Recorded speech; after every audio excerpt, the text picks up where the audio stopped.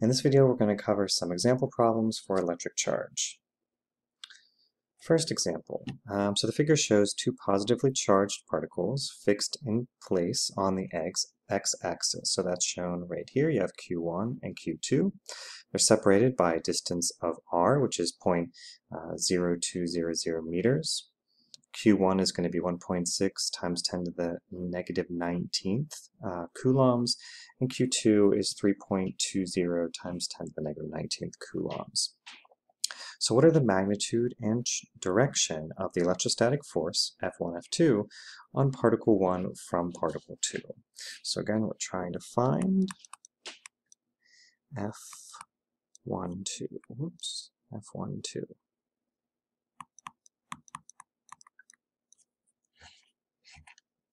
Okay, so we're just going to use Coulomb's law to start out. Um, for the direction, we know that since they're both positively charged, the force of Q2 on Q1, so Q2 on Q1, is going to be to the left. And that's shown down here in the second picture. Okay, because they're both uh, positive, they're going to repel each other. Um, so when we're solving, we don't need to worry about the vectors too much since everything's on the same plane.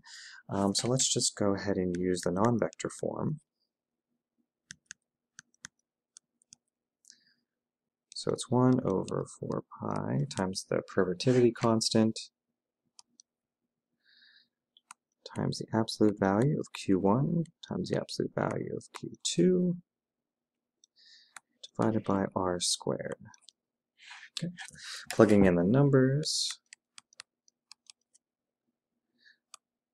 we know that 1 over 4 pi um, epsilon naught is going to be 8.99 times 10 to the ninth, and our units are newtons times meter squared over coulomb squared. That is multiplied by 1.60 times 10 to the negative 19th coulombs, which is the charge of um, particle 1, times the charge of particle 2, so 3.20 times 10 to the negative 19th coulombs. It's all going to be divided by r squared, which is 0.0200 meters squared. Okay, plugging it into your calculator, you're going to get 1.15 times 10 to the negative 24 newtons. Now this is the non-vector form, so we want to probably put in the vector form. Um, so to do that, since we know it's to the left, which is in the negative x direction, so again over here we know charge is going to be going to the left, which is negative x. So in vector form, we can just say it's going to be negative 1.15 times 10 to the negative 24 newtons times i. So i is going to be our, um, our uh, unit vector in the x direction. So let me change, oops. Nope, don't do that.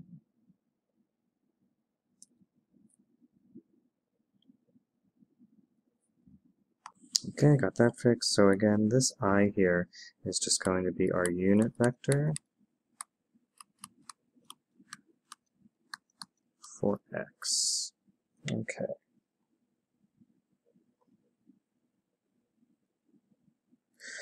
All right. So again, did we answer the question? What's the magnitude of direction for the electrostatic force on particle 1 from particle 2? So that's given here. We're giving our direction in the negative x direction, um, and there's our magnitude. Okay, next question. All right, so this figure here is going, um, it's the same situation, but we're adding in Q3. So Q3 is placed between Q1 and Q2. Uh, particle 3's uh, charge is negative 3.2 times 10 to the negative 19. It's negative because it's a negative charge and it's at a distance of 3 fourths r away from particle 1. So what is the net electrostatic force on particle 1 due to particles 2 and 3? All right, so let's first find what just the um, particle 1 is doing to particle, excuse me, what particle 3 is doing to particle 1. All right, so same way as before, we can say f13 is equal to 1 over 4 pi times our permittivity constant. This is going to be Q1, and this is the absolute value of Q3 now. Divide that by 3 fourths R squared. Writing this all out, we have 8.99 times 10 to the ninth Newton meter squared over Coulomb squared. Times 1.60 times 10 to the negative 19th coulombs times our Q3. And we're taking the absolute value. We'll deal with the negative sign later. Times 10 to the negative 19. Okay, and that's all going to be over. This time it's uh, 3 fourths r squared. So if we do 3 over 4 squared, 0 0.8 squared. Okay? And this is all going to be equal to 2.05 times 10 to the negative 24 newtons. Now again, we want to put that in our vector form. So if we look at this, we know that one's positive and one's negative, so they're going to be an attractive force, which means if you look down here, the force is going to be to the right. So we would expect a positive value. Um, so it would just be 2 point, oops, 2.05 times 10 to the negative 24 newtons in the i direction. Alright, so now I only found um, the force between 3 and 1, but previously we found the force between 2 and 1. Um, so we want to add them together. So if you just say this, so the force 1, comma, net is going to be F12 plus f1, 3. So again, we need to oops, we need to make sure that we uh, keep the negative signs um, when appropriate. So since we're dealing with vectors here, say that this is equal to negative 1.15 times 10 to the negative, oops, 24 newtons in the i direction plus 2.05 times 10 to the negative newtons in the i direction. Okay. And just adding those together, you get 9.00 times 10 to the negative 25th newtons in the i direction. Okay. Let's move on to the next example. All right. So this figure here is going to um, show us that there's a fourth particle now. So we got rid of the third particle, we're adding a fourth particle, but it's not in on the x-axis with the other two. It's actually um, up in the first quadrant up here. So the charge, um, Q4, is negative 3.2 times 10 to the negative 19, so we know that there's going to be a attractive force between Q4 and Q1 um, inside a distance of 3 fourths r uh, from particle 1.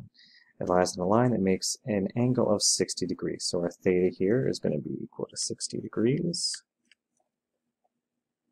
with the x-axis. So what is the net electrostatic force on F1 net on particle 1 due to particles 2 and 4. Um, so we already figured out, again, what particle 2 was. That hasn't changed. But to get 4, we're just going to follow those same steps. So up in the top right here, um, we have that the force is going to equal that equation. We're using, again, the absolute value just to find what the values are. Um, and then, as you can see, we end up with 2.05 times 10 to the negative 4 newtons. Now, if you look down here, um, you see that we know that the direction of the force is going to be up and to the right, and we know that F12 is going to be straight to the left. So we would expect um, a force in somewhat of that direction when you add them together, just by adding the two vectors. All right, so let's figure out what that exactly is. Um, so the first thing that we want to do, we're going to find the um, x directions force and then the y direction force. So just like in kinematics, we're going to break it up between an x and a y direction, um, and then um, solve for each. And then when we have the values for each force, then we can solve for uh, the angle. Okay, so gets a little complicated here with all of our subscripts, but the force on 1 net in the x direction, all we want to do is add both components of the x direction. So a 1, 2 in the x direction, and then 1, 4 in the x direction. Okay, and when you do that, really, we know it's just the force of, of 2 on 1, because that's only in the x direction. Um, and then the force of uh, 4 on 1 cosine 60. So where did the cosine 60 come from? Well, if you look over here at our triangle, and we'll I'll just draw an example over here. Here's going to be our triangle. Um, we know that the cosine is going to give us the adjacent side over the hypotenuse. And we know the hypotenuse, but we really want the adjacent. Uh, we know this angle is 60. So to get this adjacent side, we need uh, the cosine of 60. All right. Okay, so we just kind of start plugging in numbers.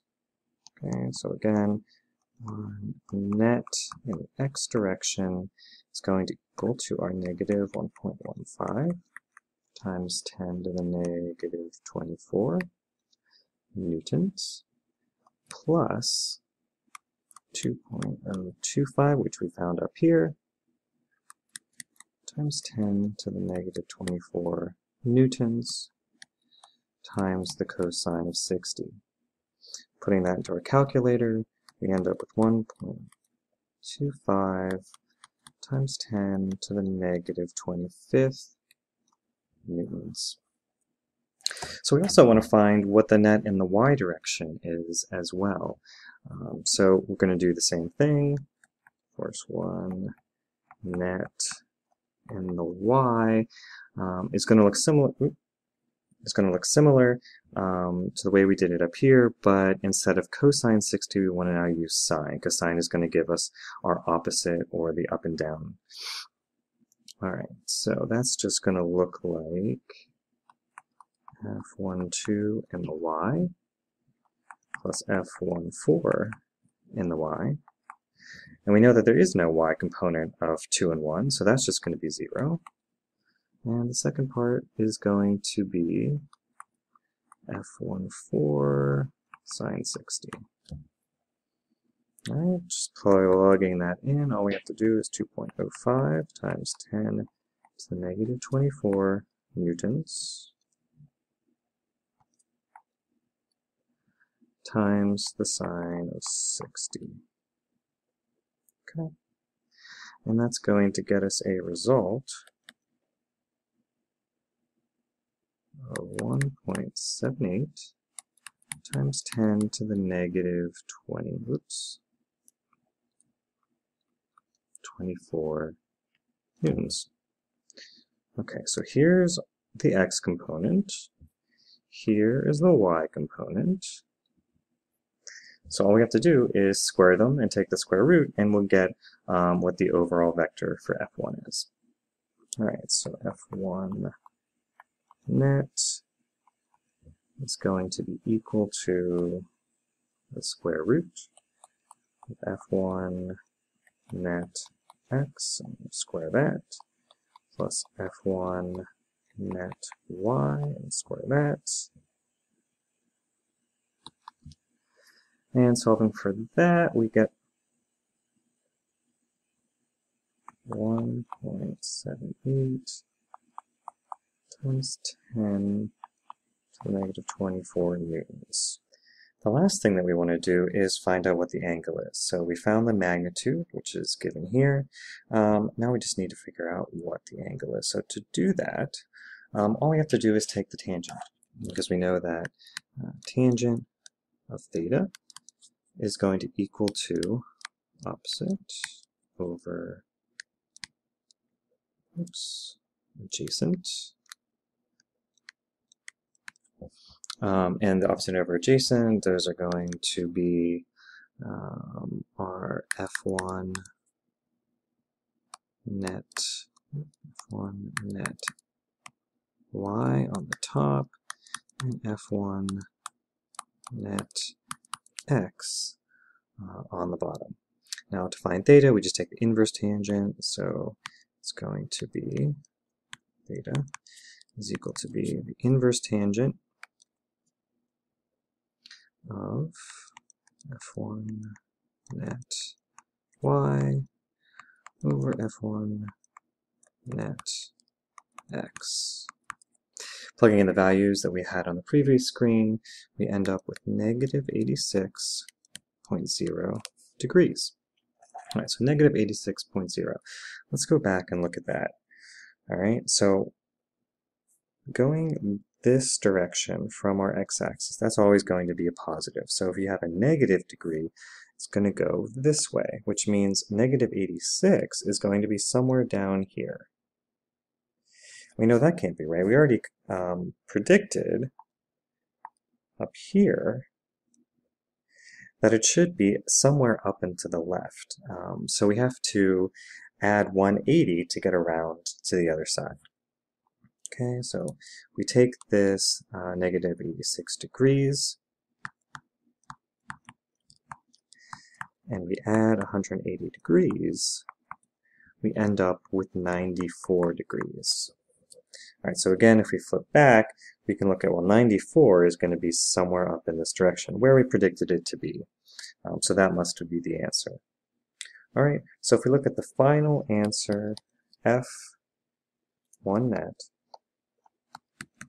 is going to be 1.78 times 10 to the negative 24 newtons. Oops. Um, at 94 degrees from the x-axis. Oops. And there we have it. That's all for the examples.